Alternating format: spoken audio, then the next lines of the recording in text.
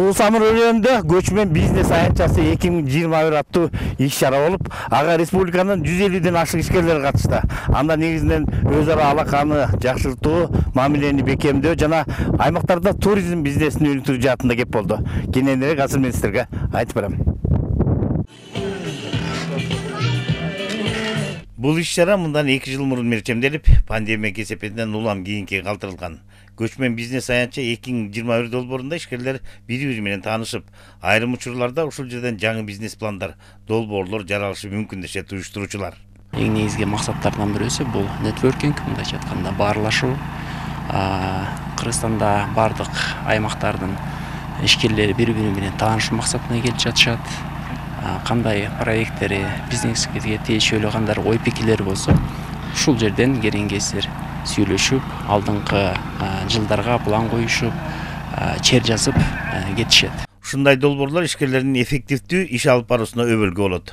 Биз муну көп жылдык тажрыйбадан улам билебиз дешкен ишкерлер бүгүн көптөгөн жаңы долбоорлор менен таанышып башкы максатыбыз кыргызстанды өнүктүрүү болуп саналат дешет. Буга чейин бизнес ишкерлер менен катышып көп көп ийгиликтер жараттым. Ушул ийгиликтин себеби ушу ишкерликтөрдүн бириккен жерине көп келип маалыматтарды алып өнүм өзүмө өнүктүргөн себептүү азыркы күндө жеке өзүмдүн ишкерлердин мектебин ачкан атам.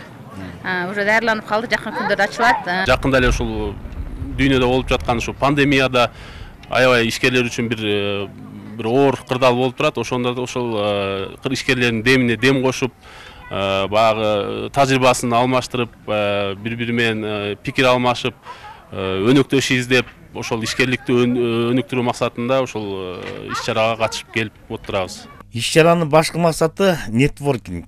Башкача айтканда баарлашуу кыргызстанда баардык аймактардын ишкерлери бири бири менен таанышуу максатында келип өз долбоорлору бизнеске тиешелүү идеяларын ортого салышып алдыңкы жылдарга пландарын коюшуп кенен талкуу кылышты ишкерлерге абдан жакшы мотивация да болот пайда болот себеби ушундай жерде суу самырда жакшынакай мондай бир жайлоодо республиканын ар жети областтан келген иш чара иш чаралыкта катышып жүргөн балдарга кыздарга адамдар үчүн бул абдан жакшы иш чара болду. Себеби бул маанилүү дагы керектүү дагы нерсе биз ошол картошка анан ошол таластын төө бурчагы фасоль деп бул баягы бренд болуп калбадыбы биз ошол грузиянын рыногуна поставка кылабыз. Биздин өнөктөштөрүбүз тендерлерден ошондой гос закупкалардан уткан негизги өнөктөшүбүз баягы ошондой ишкерлер менен грузиянын рыногуна чыгып бүгүнкү күндө